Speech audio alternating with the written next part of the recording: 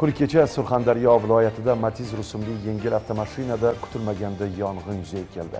Yaxshiyamki ushbu hodisa oqibatida qurbonlar yo'q. Xo'sh avtomashinaning yonib ketishining asl sababi nima? Muxbirimiz muqaddas panjiyeva holatni o'rgandi.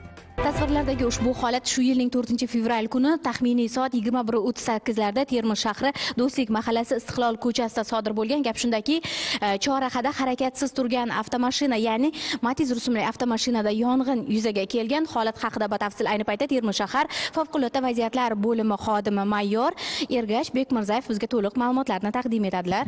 Harakatlanib kelayotgan mashina matiz rusumli mashina svetofor qizil chiroq to'xtaganda mashina o'chgan.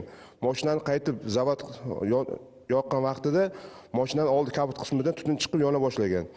O'shanda yong'inni oqibatida mashinani kapot va salon qismlari yonib zararlangan. Ya'ni 1997 yilda tug'ilgan e, fuqaro boshqaruvidagi avtomashina bo'lgan e, haydovchi yoki salonda bo'lgan yo'lovchilarga hech narsa qilmaganmi?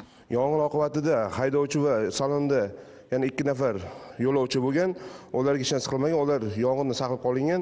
Yong'inni kelib chiqish taxmin sabablari e, avtomashinaga ulangan elektr simlarini qisqa tutashi oqibatida deb taxmin qilinmoqda va holat batafsil o'rganilmoqda. Fuqarolarga va haydovchilarga shuni aytardikki yo'lda yurganda ertalab chiqqanda moshinani texnik texosmotordan o'tkazish yana bir ko'z yugurtib qo'yishlarini talab qilib qolardik va bizga kattakon yordam bergan bo'lardi o'sha bergan ma'lumotlaringiz uchun sizga kattakon rahmat. Muqaddas panjiyeva xolmat ne'matlayev surxondaryodan tayyorlandi.